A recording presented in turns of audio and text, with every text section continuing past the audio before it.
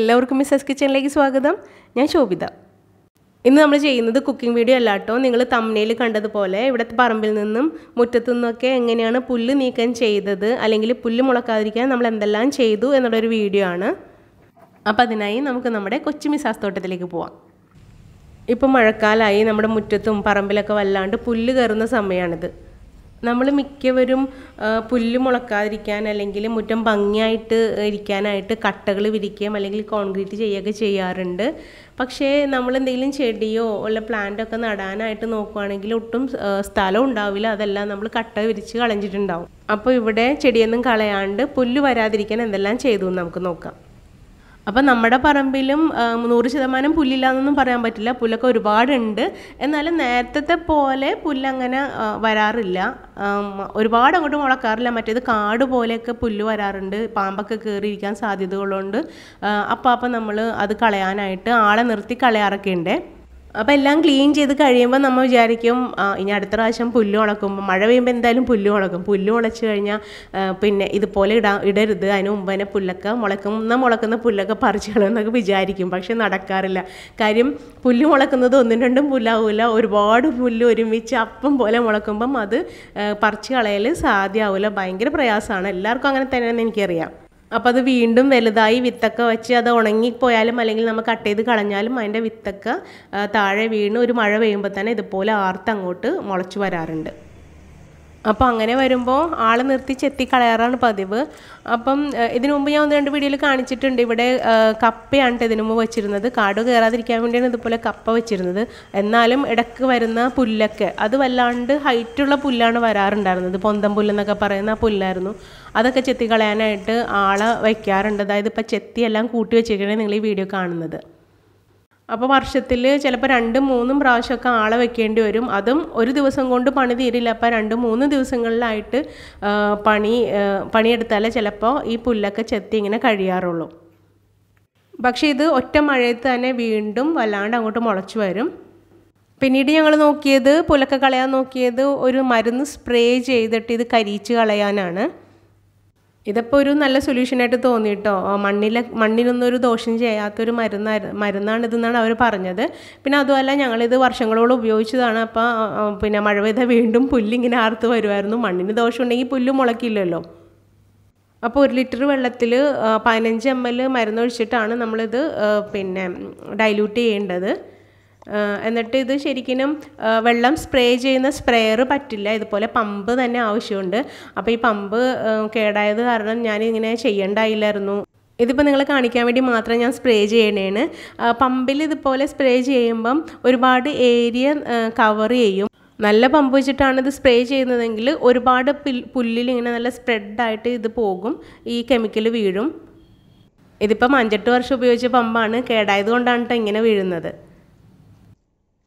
പിന്നെ ഇത് പിന്നെ ഇങ്ങനെ അടിക്കുമ്പം പ്രത്യേകം ശ്രദ്ധിക്കേണ്ട ഒരു കാര്യം എന്ന് വെച്ചാൽ അടുത്ത് ചെടികളൊന്നും ഉണ്ടാകാൻ പാടില്ല. ചെടികൾ ഉള്ള സ്ഥലത്ത് നിങ്ങൾ അടിക്കരുത്.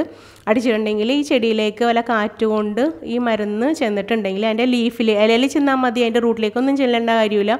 ഇലയിൽ ഒരല്പം മരുന്ന് വീണിട്ടുണ്ടെങ്കിൽ പിന്നെ ആ കെമിക്കൽ ഇറങ്ങി അത് എങ്ങനെ ശുശ്രൂഷിച്ചാലും ആ ചെടി നമുക്ക് പിന്നെ കിട്ടില്ല ഉണങ്ങി ഉണങ്ങിപ്പോവാൻ ഉണങ്ങിപ്പോവും. സാധ്യതയുണ്ടെന്നല്ല ഉറപ്പായിട്ട് ഉണങ്ങിപ്പോവും. അപ്പോൾ അത് കാരണം ചെടിയുടെ പരിസരത്തൊന്നും നമ്മൾക്ക് ഇത് സ്പ്രേ ചെയ്യാൻ പാടില്ല. ഇതിന്ന് ഞാൻ സ്പ്രേ ചെയ്തതിന് ശേഷം അന്ന് തന്നെ ഉച്ചക്കാണ് ഇത് ഒരു മണിക്കാണ് സ്പ്രേ ചെയ്തത്. വൈകുന്നേരം ഒരു ആറു മണിയായപ്പോഴത്തേക്കും മഴ പെയ്തു. പിന്നെ കുറച്ച് ദിവസം അടുപ്പിച്ച് മഴയാണ് കേട്ടോ എന്നിട്ട് പോലും നോക്കിയേ ഇതാ ഉണങ്ങി നിൽക്കുന്നത് കണ്ടില്ലേ? ഒരു ആറാമത്തെ ദിവസം ഞാൻ വീഡിയോ എടുത്താണിത് ഇത് അടിച്ചതിന്റെ പിറ്റേന്ന് തന്നെ ഇതിന്റെ കളറൊക്കെ മാറിയായിരുന്നു. രണ്ടാമത്തെ ദിവസം തന്നെ ഇതുപോലെ തന്നെ കരിഞ്ഞു തുടങ്ങിയിട്ടുണ്ടായിരുന്നു. ഇതിപ്പോൾ അഞ്ചാമത്തെ ആറാമത്തെ ദിവസം ഞാൻ വീഡിയോ എടുക്കണതാണ്. ഇത് ഇത് വൈകിട്ട് എടുത്ത വീഡിയോ ആണ് കേട്ടോ അതുവരെ മഴയായിരുന്നു. ഇതാ ഇപ്പോൾ നമ്മൾ സ്പ്രേ ചെയ്യാതിരുന്ന ചെടിയുള്ള സ്ഥലത്ത് സ്ഥലത്തെ പുല്ലൊക്കെ അതുപോലെ തന്നെ നല്ല പച്ചപ്പോടുകൂടി തന്നെ ഇരിപ്പുണ്ട്. അതേസമയം നമ്മൾ സ്പ്രേ ചെയ്തത് ഒരുവിധം നന്നായിട്ട് ഉണങ്ങി തുടങ്ങിയിട്ടുണ്ട്. പൂർണമായിട്ടും ഉണങ്ങി ഇത് ദ്രവിച്ചങ്ങോട്ട് പോകും. പിന്നെ നമ്മൾ ഇത് ചെത്തിക്കളേണ്ട കാര്യമൊന്നുമില്ല. ഇത് ദ്രവിച്ചങ്ങോട്ട് പോകും. പിന്നെ നമ്മളിത് സ്പ്രേ ചെയ്ത് ഒരു മൂന്നാൽ മണിക്കൂറിനുള്ളിൽ മഴ പെയ്യുകയോ അല്ലെങ്കിൽ വെള്ളം വീഴുകയോ ചെയ്തിട്ടുണ്ടെങ്കിൽ ആ കെമിക്കലിന്റെ വീര്യം പോകും. പിന്നെ അത് ഫങ്ഷൻ ചെയ്യില്ല നന്നായിട്ട്. ഇതിപ്പോൾ നിങ്ങൾക്ക് മിക്കവർക്കും അറിയാവുന്ന കാര്യമായിരിക്കും എന്നാലും ഞാൻ ഇവിടെ യൂസ് ചെയ്യുന്നത് കൊണ്ടാണ് കേട്ടോ പറഞ്ഞത്. ഇത് കൃഷിക്ക് വേണ്ടിയുള്ള ടൂൾസും മറ്റ് ഫെർട്ടിലൈസേഴ്സൊക്കെ വാങ്ങിക്കുന്ന ഷോപ്പിൽ കിട്ടും. പമ്പും കിട്ടും. ഈ കെമിക്കലും കിട്ടും കേട്ടോ അപ്പം ഞാൻ പറഞ്ഞില്ലേ ഇത് ചെടികൾ നട്ട സ്ഥലത്തൊന്നും അടിക്കാറില്ല. കുറച്ച് സ്ഥലത്ത് നമ്മൾ കുറച്ച് പ്ലാന്റ്സ് ഒക്കെ വെച്ചിട്ടുണ്ട്. അവിടെ ഇതൊട്ടും അടിക്കാറില്ല കേട്ടോ. അത് അടിച്ചിട്ടുണ്ടെങ്കിൽ ഈ ലീഫിലൊക്കെ ഇത് വന്നിരുന്നിട്ടുണ്ടെങ്കിൽ പിന്നെ അതിന്റെ കാര്യം നോക്കണ്ട. കുറേ കഷ്ടപ്പെട്ടിട്ടാണ് ഇത് വളർത്തി കൊണ്ടുവന്നത്. അപ്പോൾ അവിടെ നമ്മൾ ചെയ്തത് ഇതുപോലത്തെ ഒരു പ്ലാസ്റ്റിക് ഷീറ്റ് വിരിക്കുകയാണ് ചെയ്തത്. ഇതിപ്പോൾ ഏതാണ്ട് ഒന്നര വർഷം മുമ്പ് വിരിച്ചതാണ് കേട്ടോ ഈ ഷീറ്റ് ഇപ്പോഴത്തെ വീഡിയോയും ഞാൻ കാണിച്ചു തരാം. ഈ ചെടികളൊക്കെ നന്നായിട്ട് വളർന്ന വീഡിയോയും ഞാൻ കാണിച്ചു തരാം. പ്ലാസ്റ്റിക് ഐറ്റംസ് വാങ്ങിക്കുന്ന കടയിൽ നിന്നാണ് ഇത് വാങ്ങിച്ചത്. പിന്നെ പ്ലാസ്റ്റിക് ഷീറ്റ് മാറ്റ് ഒക്കെ കിട്ടുന്ന കടയുണ്ടല്ലോ അവിടെ നിന്നാണ് വാങ്ങിച്ചത്. ഇതിനു മുമ്പ് ഞാൻ ഡൈനിങ് ടേബിൾ ഇങ്ങനെ സ്ക്രാച്ച് വീഴാതിരിക്കാനായിട്ട് ഒരു ഷീറ്റ് വിരിച്ചിരുന്നു. അതൊക്കെ ഈ ഒരു സെയിം ഷോപ്പിൽ നിന്ന് തന്നെയാണ് വാങ്ങിച്ചത്. അപ്പോൾ ആ ഷീറ്റ് വിരിച്ചിട്ടുണ്ടെങ്കിലും ഡൈനിങ് ടേബിളൊക്കെ ഒട്ടും തന്നെ സ്ക്രാച്ച് വീഴാതെ നമുക്ക് കൊണ്ടുനടക്കാൻ പറ്റും. അതിന്റെ വീഡിയോ ഞാൻ ചെയ്തിരുന്നതിന് മുമ്പ് അത് കാണാത്തവരൊന്ന് കണ്ടു നോക്കണേ. അപ്പോൾ ഈ ഷീറ്റും ഒരു റോളായിട്ടാണ് വരുന്നത്. നമുക്ക് മുറിച്ച് ആവശ്യത്തിന് മുറിച്ച് വാങ്ങിക്കാൻ പറ്റും. ഇതിന് വീതി മൂന്ന് മീറ്റർ വീതി ഉണ്ട് ഈ ഷീറ്റിന്. അപ്പോൾ ഈ ഷീറ്റ് വിരിച്ചിട്ടുണ്ടെങ്കിൽ പുല്ലൊട്ടും മുളക്കില്ല. അഞ്ച് വർഷത്തെ ഗ്യാരണ്ടി ഇവർ പറഞ്ഞിട്ടുണ്ട്. ഇപ്പോൾ ഏതാണ്ട് ഒന്നര വർഷമൊക്കെ കഴിഞ്ഞു ഇത് വിരിച്ചിട്ട്. അപ്പോൾ ഇത് പുല്ല് ചെത്തേണ്ട കാര്യമില്ല. അതിന്റെ മുകളിലിട്ടാലും ആ പുല്ലൊക്കെ വാടി കരിഞ്ഞ് പോയിക്കോളും. എന്നാലും ഞങ്ങളിവിടെ പുല്ലൊക്കെ ചെത്തിയിട്ട് ആ സ്ഥലത്തെ കുറച്ച് കല്ലുകളൊക്കെ പൊങ്ങിയിരിക്കുന്ന കല്ലുകളൊക്കെ അങ്ങോട്ട് അടിച്ച് മാറ്റിയതിന് ശേഷം കേട്ടോ ഈ ഷീറ്റ് വിരിച്ചത്. അല്ലെങ്കിൽ നമ്മൾ ഈ ഷീറ്റിൽ ചവിട്ടുമ്പം ചിലപ്പം ആ, കല്ല് കുത്തി ഇത് ഷീറ്റ് കീറാൻ സാധ്യതയുണ്ടല്ലോ. അങ്ങനെ അപ്പോൾ അതൊക്കെ കളഞ്ഞിട്ടാണ് ഞങ്ങളിത് അവിടെയൊക്കെ ക്ലീൻ ചെയ്തിട്ടാണ് ഈ ഷീറ്റ് വിരിച്ചത്. എന്നിട്ട് നമുക്ക് ആവശ്യത്തിന് നീളം എടുത്തതിന് ശേഷം ബാക്കിയുള്ളത് നമ്മൾ കട്ട് ചെയ്ത് ഇതുപോലെ കട്ട് ചെയ്ത് മാറ്റുകയാണ് ചെയ്തത്.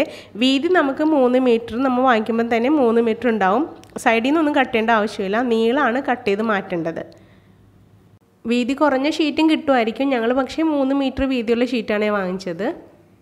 പിന്നെ ഇത് മീറ്ററിന് ഞങ്ങൾ വാങ്ങിക്കുമ്പം തൊണ്ണൂറ് രൂപയായിരുന്നു. ഇപ്പം അത് കൂടിയിട്ടുണ്ടാകുമായിരിക്കും മാറ്റം വന്നിട്ടുണ്ടാകാം.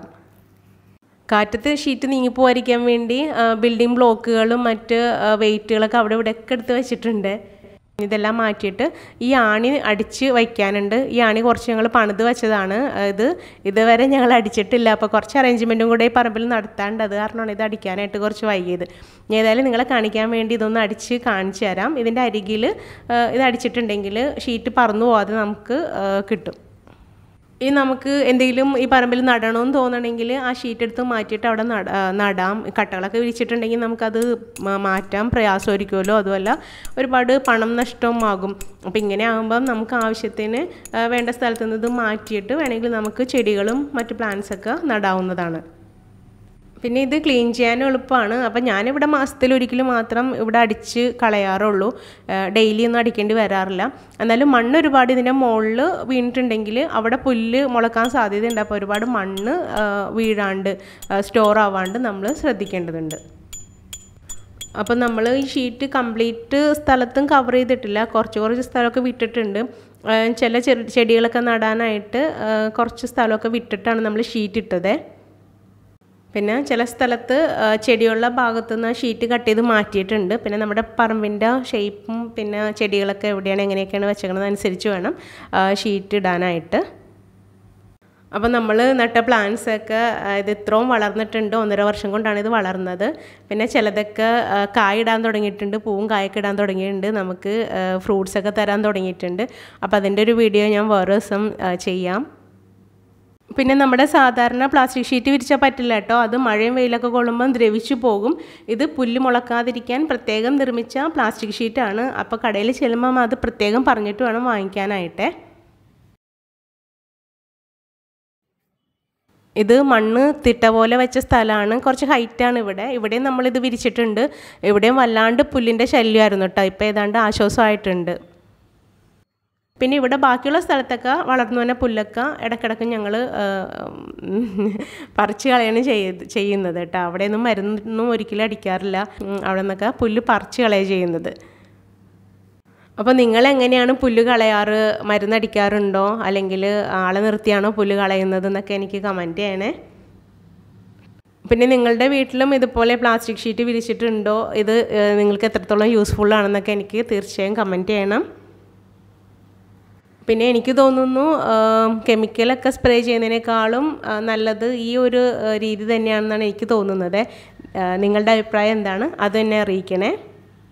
അപ്പോൾ നമ്മൾ ചെടിയൊക്കെ നനച്ചതിന് ശേഷം അതിന്റെ വെള്ളം വീഴുന്ന സ്ഥലത്തൊക്കെ ഈ പുല്ല് വളരെയധികം പിന്നെ മുളക്കാൻ സാധ്യതയുണ്ട്. അപ്പോൾ അങ്ങനെയുള്ള സ്ഥലത്തൊക്കെ ഇതുപോലെ ഷീറ്റ് വിരിച്ചിട്ടുണ്ടെങ്കിൽ അങ്ങനെയുള്ള പുല്ല് മുളക്കലൊക്കെ നമുക്ക് ഒഴിവാക്കാൻ പറ്റും.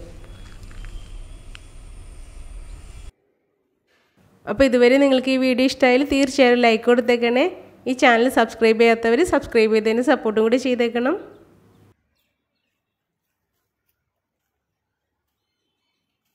താങ്ക്